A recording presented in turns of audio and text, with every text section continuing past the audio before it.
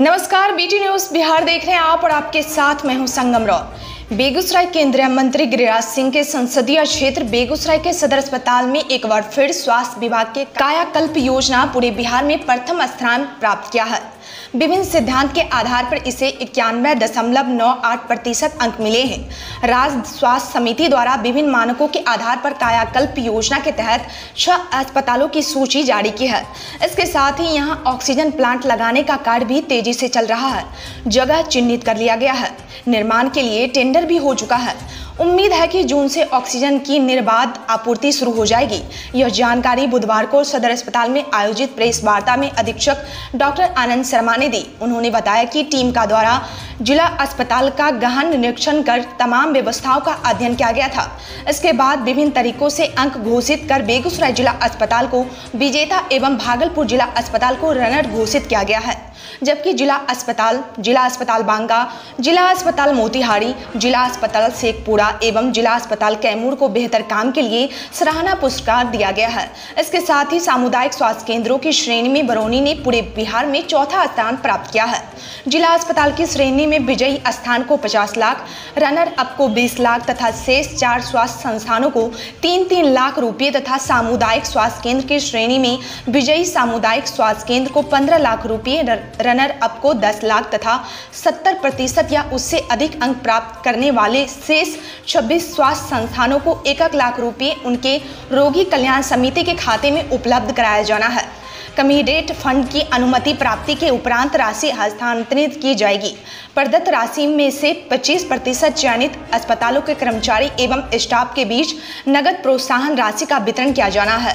शेष बची हुई 75 प्रतिशत राशि का उपयोग एनजीएएस तथा कायाकल्प अंतर्गत चिन्हित कर्मियों को दूर किया जाएगा। जिसमें पानी की समुचित व्यवस्था फायर सेफ्टी सिस्टम साइनेज का निर्माण हर्बल गार्डन रैंप और रेलिंग दिव्यांग के लिए पश्चिमी शौचालय इंटरकॉम कर्मचारियों के लिए dress code furniture, pest control, green park विकसित करने, पेंटिंग, सभी कर्मचारियों के लिए टीकाकरण समेत अस्पताल की अन्य कमियों को दूर करने में किया जाएगा। अधीक्षक ने बताया कि सभी कर्मचारियों और प्रशासन के सहयोग से बेहतर सेवा उपलब्ध कराए जा रहे हैं, जिसके कारण यह सफलता मिली है। अस्पताल में सीटी स्कैन, डायलिसिस, आईसीयू एवं वेंटिलेटर की व्यवस्था समुचित व्यवस्था है। आउटडोर कंपनी के माध्यम से परिसर में सीटी स्कैन एवं डायलिसिस न्यूनतम शुल्क पर किया जा रहा है। राशन कार्ड धारियों को डायलिसिस की सुविधा मुफ़्त में दी जा रही है। हाई प्रेशर ऑक्सीजन की भी व्यवस्था है। सदर अस्पताल में लोगों की अधिक मौत होने का कारण यह है कि ज़िले के तमाम अस्पतालों द्वारा स्थिति नियंत्रण से बाहर होने के बाद मरीज़ को सदर अस्पताल रेफर कर दिया जाता है, जहाँ हालत बहुत सीरियस आने के कारण मौत हो जाती है। उन्होंने बताया कि सदर अस्पताल में 70 से 80 सिलेंडर ऑक्सीजन का उपयोग किया जाता है। अभी तक कमी नहीं हुई है। ज़िले में ऑक्सीजन समस्या नहीं हो, इसके लिए सरकार द्वारा सदर अस्पताल परिसर में ऑक्सीजन प्लांट लगाने का कार्य तेज़ी से चल रहा। है जगह चिन्हित कर लिए गए हैं। टेंडर की प्रक्रिया पूरी हो चुकी है। डीएम खुद नज़र बनाए हुए हैं। केंद्रीय एजेंसी द्वारा ऑक्सीजन प्लांट का निर्माण किया जाएगा। इसके बाद जून से आपूर्ति शुरू हो जाने की संभावना है। प्रेस वार्ता में वरिया उपचार पर्यवेक्षक कमरान इकबाल, अस्पताल मैनेजर पंकज कुमार तथा चिकित्सक डॉक्टर सोना एवं डॉक्टर अवनीश उपस्थित थे। उल्लेखनीय है कि बेगूसराय सदर अस्पताल को 2018 में भी कायाकल्प योजना के तहत प्रथम पुरस्कार दिया गया था। बीटी न्यूज़ बिहार के लिए बेगूसराय से रवि संगठगन की रिपोर्ट। तो जबकि हमारे और सेकंड वाले में पाँच परसेंट का बाका को एटी फाइव परसेंट था और हम नाइन्टी पॉइंट थ्री परसेंट में थे। इंस्पाइट ऑफ़ दैट हम लोग हम रिप्रेजेंट भी किए थे ईडी के पास। बेगूसराय को लगातार हम लोग तीसरे नंबर पर यह हमेशा फ़र्स्ट रहते रहे तीन साल से। तो पहले इस बार हमको लोग हमारा 91.98 परसेंट है मतलब 92 परसेंट के आसपास मार्क्स है।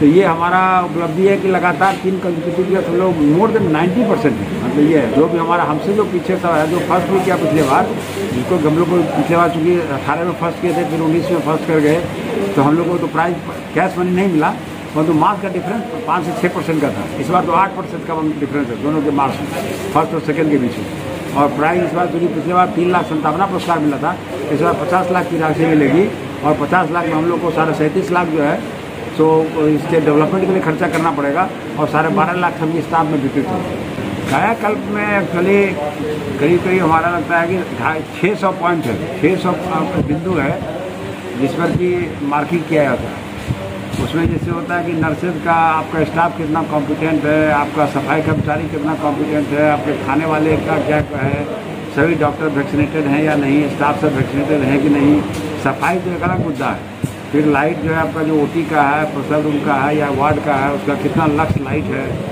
सफ़ाई का क्या हाल है और सबसे इम्पोर्टेंट क्या है, जो जितना बाहर का जो नाली वाली सब रहता है, वो सब भी आपका साफ़ है कि नहीं? और उसका सराउंडिंग्स आपका साफ़ है कि नहीं? ये सभी चीज़ है और छोटी छोटी चीज़ पर है मतलब सबसे इम्पोर्टेंट है कि आप कितना तत्परता से सफ़ाई करते हैं, कितना तत्परता से पेशेंट को डील करते हैं और सबको, जैसे नर्सिंग का वहाँ टेस्टिंग होता है कि साहब, ये ये ये केस आया था आप उसको कैसे मैनेज करेंगे? उनका अलग इंटरव्यू होता है। हमारे डिफरेंट डिफरेंट केस का ओटी में जाएँगे तो आपको इन्फेक्शन है तो क्या या ओटी का इन्फेक्शन रेट कितना है? पेशेंट मरा तो क्यों मरा? तो सब बिंदु की जाँच की जाती है। डायलिसिस तो बहुत ज़रूरी था यहाँ, लोगों को बहुत ही ज़्यादा डायलिसिस वाले बहुत पेशेंट हैं और अभी भी जहाँ तक छः जगह हमको लगता है, इन लोग को जो मैंने पूछा था उससे ये लोग छः जगह बिहार में स्टार्ट किए हैं और बेगूसराय अभी अव्वल नंबर पर उसमें भी है। यहाँ करीब पच्चीस पेशेंट से ज़्यादा डायलिसिस करवा रहे हैं।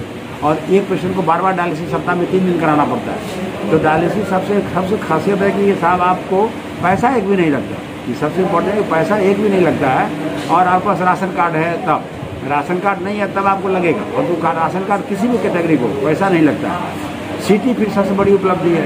सिटी जो साहब सब का जो है सो सोचा मैंने आधे से कम रेट में यहाँ सिटी हो रहा है। और रिपोर्ट सबसे है कि यहाँ भी प्राइवेट में आप कराइए तो आप सुबह कराइए तो आपका रिपोर्ट सामने देगा।